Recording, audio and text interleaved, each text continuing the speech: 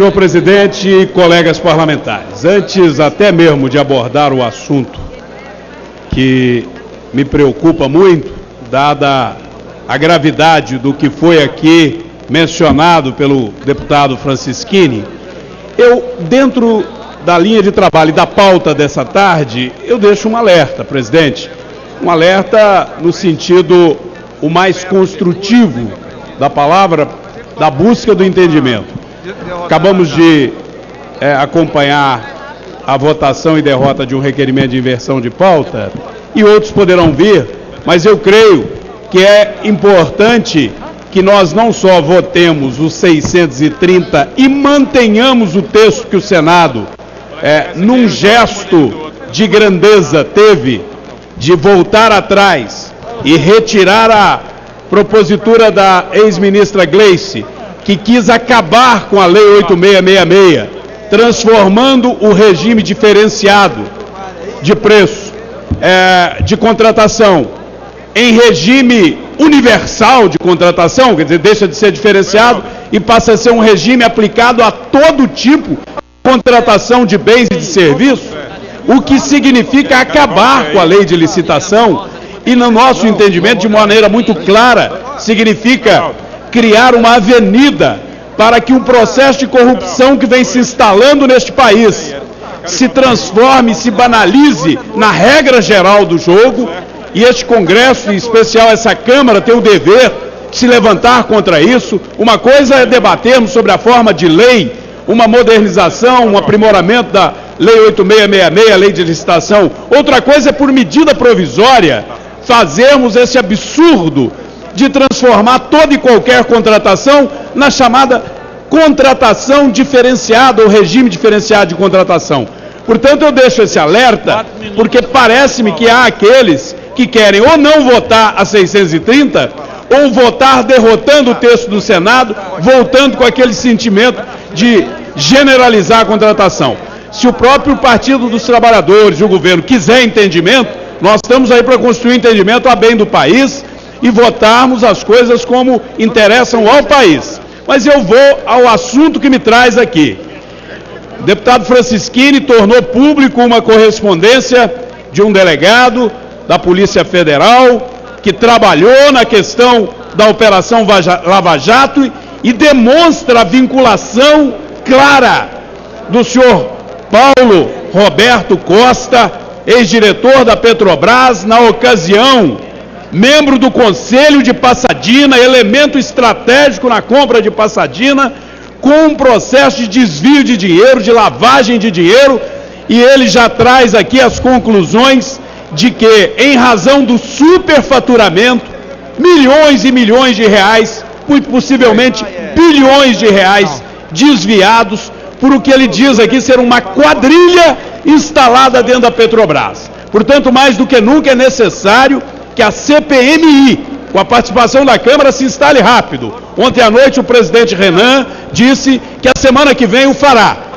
Penso eu que o Partido dos Trabalhadores, que ainda não indicou, deveria indicar hoje e começarmos imediata essa investigação, porque na verdade o país quer e nós queremos é salvar a Petrobras. Está evidente que essa conversa de que dizer quem está discutindo a corrupção na Petrobras não quer o bem da Petrobras é algo que nenhum brasileiro aceita.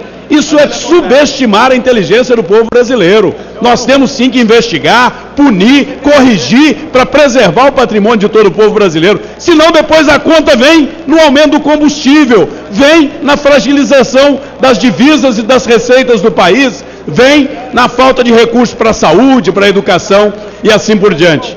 E é nesta linha, senhor presidente, que a gente vê dia após dia decisões equivocadas. E a última que vem nesta linha de absurdo descaso com o Brasil e aí com o trabalhador.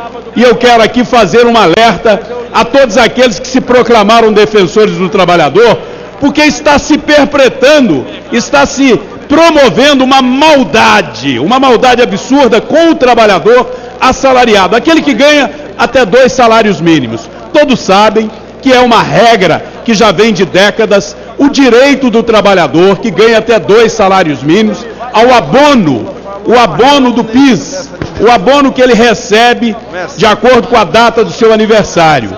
Pois bem, todo ano o governo, nesta época, ele faz uma campanha informando ao trabalhador que ainda não foi receber o seu abono, que em 30 de junho termina o prazo para receber o abono relativo ao exercício do ano passado. Aquele trabalhador que comprova que trabalhou no ano passado. Ainda há mais de 1 bilhão e 300 milhões de recursos para serem recebidos pelos trabalhadores. E, surpreendentemente, eu vejo matéria, da, matéria é, publicada no Globo, da jornalista Geralda, que a Geralda Doca, que fez um trabalho belíssimo, levantando algo surpreendente. Havia uma campanha pronta no Ministério do Trabalho, como faz sempre, para alertar ao trabalhador que ele tem que ir, senão ele vai perder esse dinheiro. E o ministro da Fazenda, segundo diz a reportagem, o senhor ministro Manding, diz: não, não faz não, não faz a, a campanha publicitária, não esclarece não, porque as Senhor presidente, Raimundo Gomes de Massa, na votação anterior, votou com o partido. Votou com o partido. Votou com o partido, presidente. Senhor presidente, deputado Zé Guimarães, da votação anterior, votou com o seu partido. Quem Bolsonaro votou com o partido. Senhor presidente, deputado Danilo Forte, Obrigado, partido, senhor presidente. Deputado Danilo Forte votou com o PMDB. Deputado João Primário votou com o partido. Senhor presidente, deputado Genesia Noronha votou com seu partido Solidariedade. O líder precisa concluir, Por gentileza, conclua. Senhor presidente, por gentileza, eu quero concluir, porque é muito grave isso. É muito grave. Eu quero fazer um alerta aos parlamentares da base do governo, os parlamentares ligados ao ministro do Trabalho. Não deixe que o governo cometa essa maldade. A campanha é feita todo ano. Ela ajuda o trabalhador que ainda não sabe que é 30 de junho, a data limite, ele ir lá e receber o seu um salário mínimo, 724 reais. Para ele faz uma diferença porque ele ganha dois salários mínimos no máximo. Então a campanha é necessária. E o ministro da Fazenda vem com essa história. Não, não faz não, porque aí sobra mais 1 bilhão e 300 milhões para fazer superávit fiscal com o dinheiro que é direito do trabalhador. Isso é um absurdo e nós não podemos nos calar diante disso. Muito obrigado, senhor presidente. Senhor presidente, deputado Zé Augusto